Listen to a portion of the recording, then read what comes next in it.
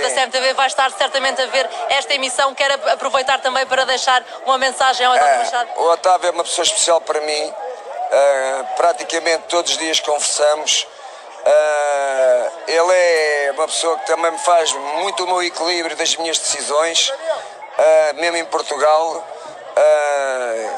E será e é sempre um amigo que está no meu coração e, e confio muito nele e confio muito nos conselhos que ele me dá. Conversa muito com o Otávio Machado, mas também conversa com o presidente do Benfica, Luís Filipe Vieira. Ah, são conversas diferentes. Uh, o presidente do Benfica foi seis anos meu presidente, nunca tive tanto tempo como presidente. É meu amigo, mas trabalho é trabalho, amizade é amizade.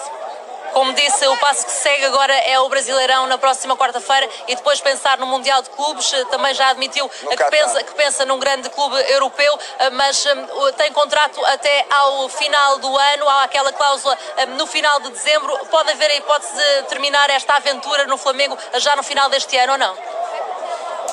Não quero falar nisso. Está, estamos numa, numa altura tão bonita para mim e para o Flamengo e para, para os torcedores, torcedores não adeptos, eh, não vale a pena estarmos aqui a criar expectativas. O que importa agora é continuar eh, esta caminhada de, de, de, de amor.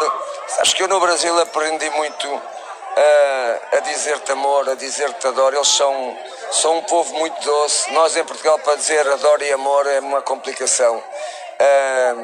E eu agora quero desfrutar este amor que tenho tido neste, neste, no Brasil e neste clube.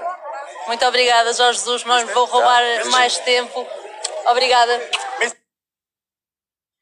Otávio Machado quer responder a Jorge Jesus. É difícil. É. Não havia necessidade dele fazer isto. Mas. Eu queria ter vivido isto com ele no Sporting.